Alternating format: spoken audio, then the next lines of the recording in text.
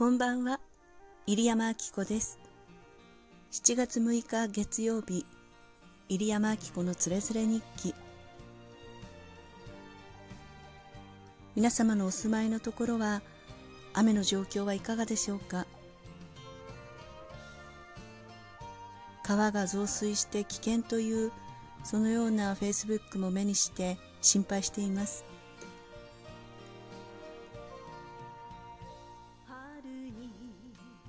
今週はまだ前線の関係で雨が多く降るという予報も出ていますのでぜひ皆様も一言ではなくもしも避難勧告が出たらという予測をしながら生活をしていていただくと嬉しく思います。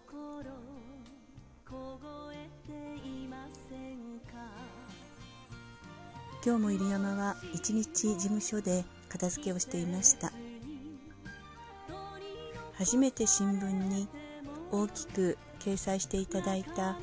記念の号を拡大して事務所に飾っていました。4年前の記事なのですがとても嬉しく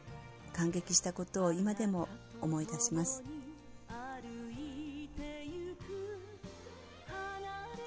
いろいろなご縁で日刊スポーツさん笹森さんに詳しくこれまでのいきさつを聞いていただいてそして記事にしていただいた。看護の道から歌の道へというその理由をぎっしりと書いていただいて本当にありがたく感じたこの記事。今日もこれは捨てられないなと自宅の方に持ち帰りました。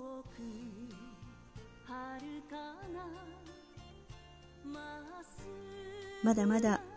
コロナの感染も落ち着かずそして災害も怖い。今は気をつけることが多くありすぎるのですがどうぞ皆様元気にお過ごしいただきたいと思います。それではおやすみなさい。